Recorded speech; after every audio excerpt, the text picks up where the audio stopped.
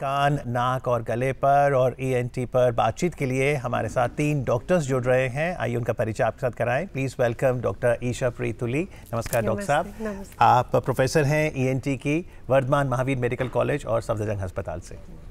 और स्वागत करते हैं डॉक्टर कंवर सेन का। आपका भी स्वागत है सर हमारे कार्यक्रम में। आप है professor and H O D E N T doctor R M L hospital से। नमस्कार डॉक्टर साहब।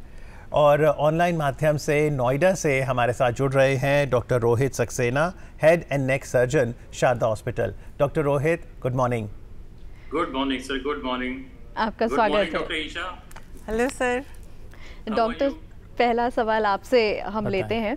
ईएनटी की जब हम बात करते हैं ईएनटी तीनों चीज़ें साथ में ली जाती हैं। तो क्या ये तीनों इंटरकनेक्टेड होने के साथ एक दूसरे को प्रभावित भी करते हैं? बिल्कुल। अगर किसी व्यक्ति को उसको नाक में इन्फेक्शन है गले में इन्फेक्शन है तो चांसेस होते हैं कि उसके वो इन्फेक्शन कान में भी जा सकता है। इसीलिए अगर साइनस का इन्फेक्शन है नाक में तो वो कान में जा सकता है।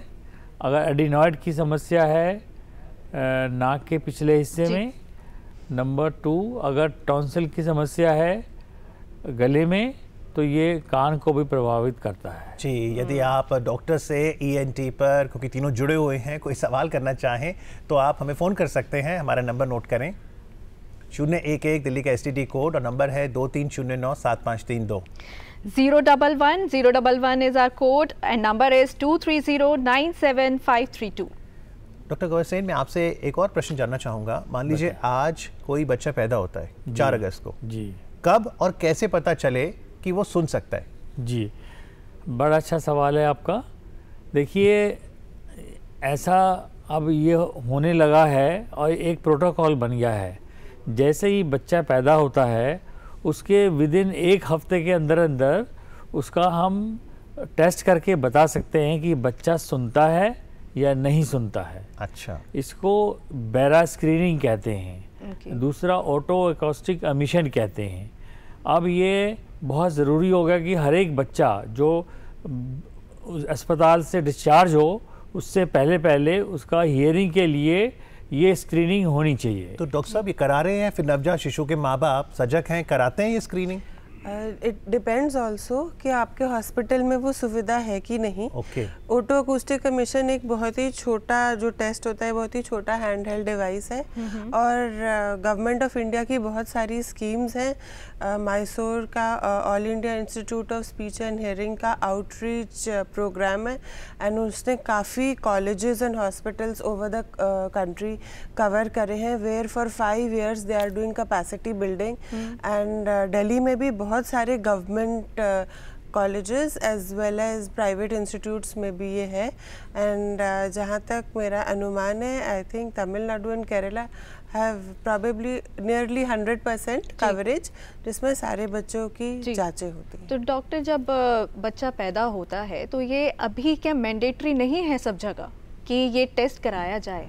ये मैंडेटरी सब जगह नहीं है क्योंकि जैसा डॉक्टर ईशा ने बताया इसकी जो फैसिलिटी सब जगह उपलब्ध नहीं है क्योंकि ये स्पेशल मशीन होती हैं जिनके द्वारा ये टेस्ट होता है कि ये बच्चे की सुनाई में कोई कमी तो नहीं है। और जितने मेट्रोपॉलिटन सिटीज़ हैं या बड़े सिटीज़ हैं ये सुविधा वहाँ पर उपलब्ध है। जी लेकिन भारत में लगभग छः करोड़ आप बता रहे थे ऐसे लोग हैं जो सुन नहीं सकते। जी छः करोड़ तीस लाख। छः करोड़ तीस लाख ऐसे हैं सिक्सटी थ्री मिलियन लोग जो हैं बच्चे भी हैं और एडल्ट भी हैं जिनको सुनने की समस्या है जिनको ऊँचा सुनाई देता है या बच्चे भी हैं।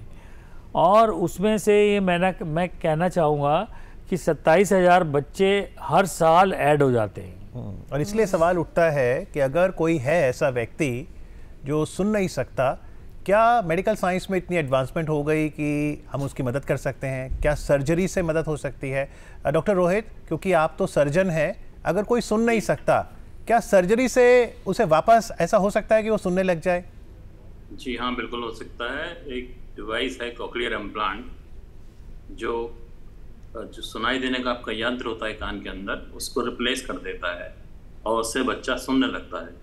और जितनी जल्दी डिटेक्ट हो, जैसे बात डॉक्टर कंवर से कह रहे थे कि स्क्रीनिंग टेस्ट मैंडेटरी होने चाहिए ऑर्डर ऑगस्टिकेशन वगैरह इसी से पता लग जाता है कि बच्चा सुन नहीं रहा। जितना जल्दी पता लगेगा उतना ही ज़्यादा आसान होता है उसके लिए इस सर्जरी को करना और उतना ही अच्छे रिज़ल्ट आते हैं उसके। कितनी उम्र में ये सर्जरी की जा सकती है? ये अब लगभग दो साल के तक शुरू कर सकते हैं दो साल में। दो साल तक। बल्कि कुछ लोग पहले भी कर देते हैं क्योंकि जो हियरिंग आपका एरिया होता है ब्रेन का वो दो साल बाद डिटोरिएट होना शुरू हो जाता है। मतलब वो साउंड परसीव नहीं कर पाएगा। तो जितनी जल्दी ये सर्जरी करी जाए उतना ही अच्छा रिज़ल्ट है और बच्चे उतने ही जल्दी नॉर्मल हियरिंग सुनने लगते हैं।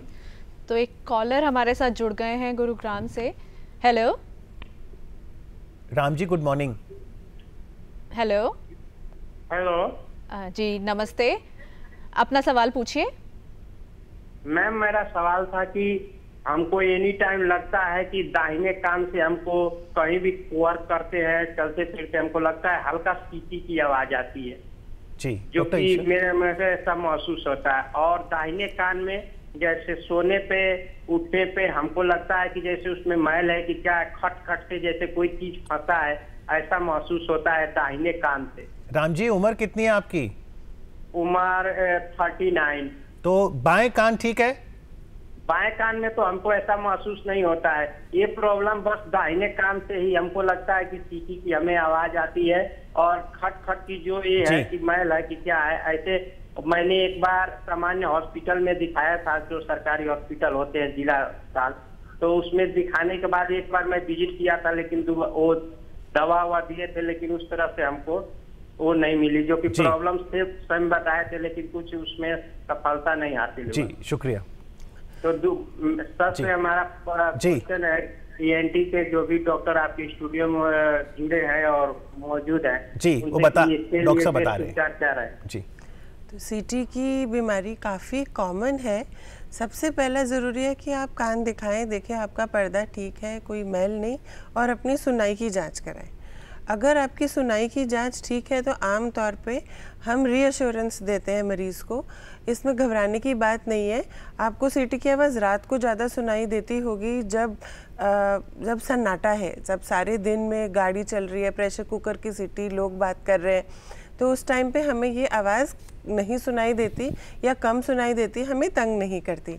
पर रात को जब एकदम क्वाइट है तब हमें ये आवाज़ ज़्यादा सुनाई देती है।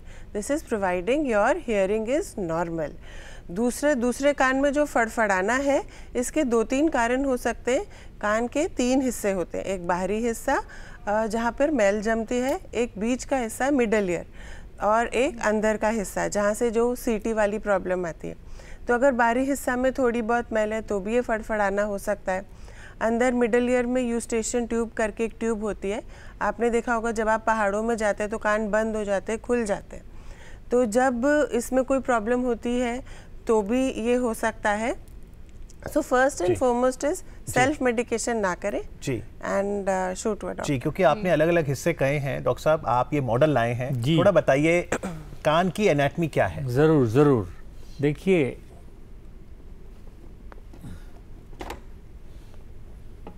हमें तो ये सिर्फ़ भारी कान दिखता है। कान का पूरा स्ट्रक्चर यहाँ है।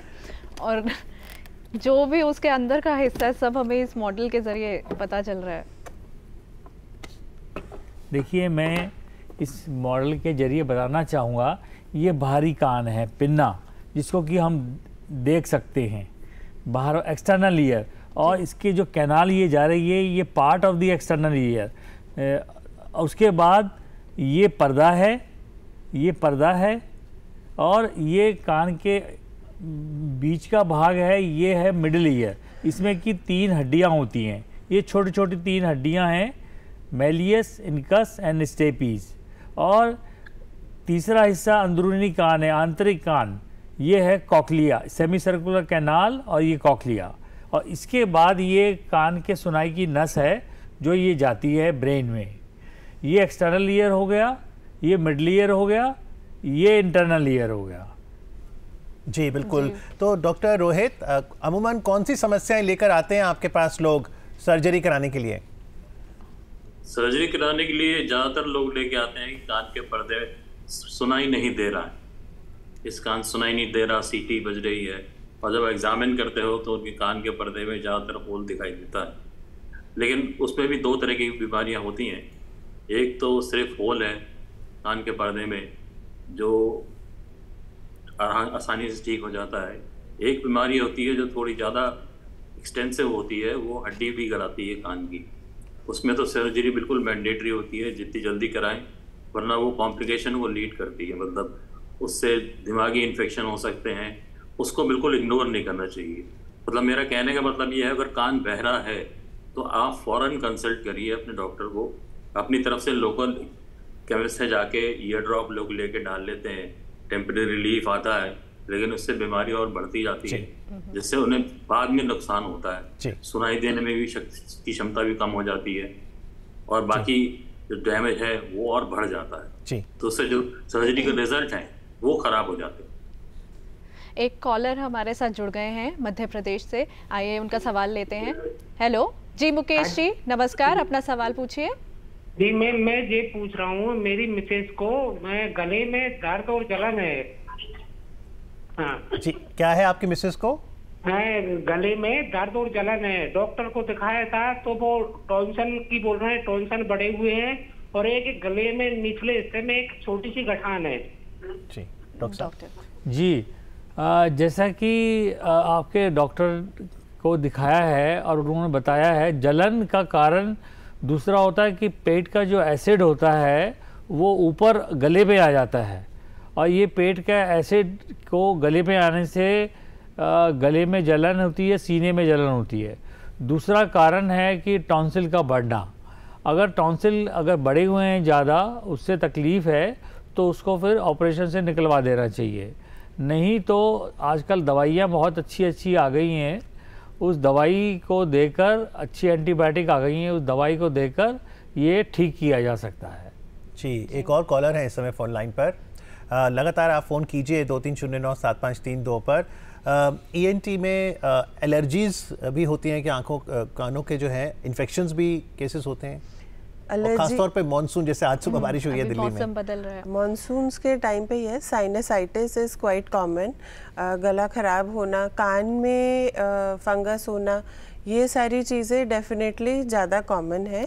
मानसून के टाइम पे certain spores fungus spores happen तो उस चीज़ से भी लोगों की एलर्जीज काफ़ी ट्रिगर हो जाती हैं। आप घर को प्रॉपरली धूप नहीं दे सकते तो डस्ट माइट्स वगैरह कंटिन्यू करते हैं तो उन चीज़ से भी काफ़ी नेजल एलर्जीज ट्रिगर हो तो जाती है। समाधान क्या है इसका? इसका समाधान ये है कि मल्टी मल्टी प्रोंग ट्रीटमेंट होता है इसका। पेशेंट को अपना आ, अपना पर्सनल केयर रखना है उसने अपने एनवायरनमेंट का केयर रखना है एंड कुछ मेडिसिन लेनी है। तो पर्सनल केयर में he can wear a mask if he is going to a very dusty और अ डर्टी प्लेस अपने जो फेस टाल है उसको हफ़्ते में दो या तीन बार ही बदलना है उसे गुनगुने पानी से धोना है उसने अपनी मैट्रेस जो है उसको कम से कम हर दस दिन में धूप लगानी है वैक्यूम कर सकता है। आजकल मैट्रेस प्रोटेक्टर्स आते हैं वो बेड पर लगाएँ। अपनी जो चादर है तकिया है वो सब भी जो तकिए का गिलाफ है वो भी हफ़्ते में दो बारी। नॉर्मली हम एक टाइम करते हैं बट जो एलर्जी जिनको होती है उनको ट्वाइस बातें हैं। जिनका ध्यान रखना होगा। डॉक्टर रोहित अगले कॉलर जो सवाल पूछ रहे हैं हम चाहते हैं कि आप उसका जवाब दें। इटावा से कौशल जी हैं। हेलो? हेलो। हाँ कौशल जी बोलिए। कौशल जी अपना सवाल पूछिए। अपने टेलीविज़न का वॉल्यूम कम कर दीजिए कौशल जी। और जल्दी से सवाल पूछिए। भिक्षु कौशल मोदी इटावा से। नवो बुद्धाय नवो बुद्धाय सभी को। जी, जी। नमस्ते। सभी को नवो बुद्धाय जी सवाल पूछिए प्लीज़ अपना सवाल पूछिए। सर मैं ये जानना चाह रहा हूँ अभी आई फ्लू भी चल रहा है इसलिए सबको आँखों में भी इन्फेक्शन हो रहा है। इस सभी को और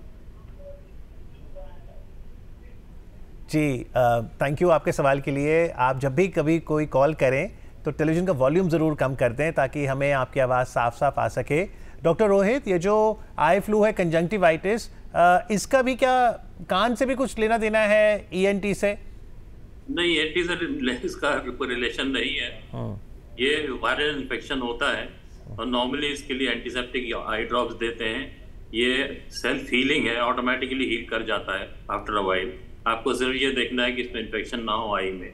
जी। डॉक्टर साहब हैं। डॉक्टर साहब तंबाकू लेने से अ, क्या असर पड़ता है? जब तक जब हम ईएनटी की बात करते हैं तो। तम्बाकू लेने से तो बहुत फ़र्क पड़ता है सर। आप सिगरेट का पैकेट का ही देख लीजिए उस पर क्या क्या बना होता है। तम्बाकू लेने से सबसे बड़ा जो इफ़ेक्ट है वो होता है ओरल कैंसर और जैसे किसी के मुँह में छाला हो जाता है लोग उसे नॉर्मल छाला हो गया मुँह में और लोकल दवा लगाते रहते हैं। जी। वो नहीं करना चाहिए। कोई भी छाला जो दो हफ़्ते तक हील ना कर रहा हो ठीक ना हो रहा हो अपने आप या दवा लगाने के बाद तो उसको दिखाना बहुत ज़रूरी है। हो सकता है वो कैंसर हो। और ओरल कैंसर का एडवांटेज ये होता है कि आप उसे जल्दी पकड़ लेते हो। जी। तो जल्दी डिटेक्ट हो जाता है तो ट्रीटमेंट उसका उतना ही अच्छा होता है आप डिज़ीज़ फ्री हो जाते हो। आपको बाकी जी। ज़्यादा लंबा ट्रीटमेंट नहीं लेना पड़ता। जी। ओके डॉक्टर चीज़ जो जी। शुक्रिया डॉक्टर। डॉक्टर कंवर आपसे अगर हम जानना चाहें जब गले के स्वास्थ्य की हम बात करते हैं कि अभी तक हमने कान की बात की तो गले के लिए क्या कुछ किया जा सकता है ताकि हमारा गला ठीक रहे? जी। देखिए इसमें गला जो ठीक रहे उसके लिए ज़रूरी ये है कि इस मानसून के सीज़न में कोल्ड चीज़ें ना खाएँ ठंडी चीज़ें ना लें और रेगुलर सुबह शाम नमक के पानी से गरारे करें। और अपनी डाइट में विटामिन सी की मात्रा बढ़ा दें। साथ में ऐसा खाद्य पदार्थ लें जिसमें कि विटामिन सी और जिंक मात्रा में अधिक हो। इससे और इसके अलावा गले से, गले को ज़्यादा मैं कहूँगा जो जिनको कि बात करने के लिए बहुत काम करना पड़ता है, यानी कि जो कि उनका प्रोफेशन ऐसा होता है कि उनको बहुत बोलना पड़ता है। जी। तो उनको वोकल हाइजीन को के लिए हम एडवाइस करते हैं। एक तो लंबे टाइम तक वो जो है अपने गले को ज़ोर ना दें और बीच बीच में रेस्ट लें हम्म। और इससे वोकल हाइजीन मेंटेन करेंगे। तो जैसे कोला ड्रिंक्स हैं ये बहुत ख़राब चीज़ है इनको नहीं लेना चाहिए। इससे रिफ्लक्स होता है और एक्सेसिव टी एंड कॉफ़ी ज़्यादा चाय और कॉफ़ी नहीं लेनी चाहिए। जी। इससे भी वोकल हाइजीन ख़राब होती है। जी बिल्कुल। तो अपनी वोकल हाइजीन ठीक रखें और कान नाक गले पर भी ध्यान दें। आज कार्यक्रम में आके चर्चा करने के लिए तीनों डॉक्टर्स का ही बहुत बहुत आभार thank you very much doctor Isha thank you doctor Kanwar Sen आपने इतने अच्छे से हमें ईयर के एनाटमी के बारे में बताया और नोएडा से डॉक्टर रोहित आपका भी बहुत बहुत शुक्रिया thank you very much thank you thank you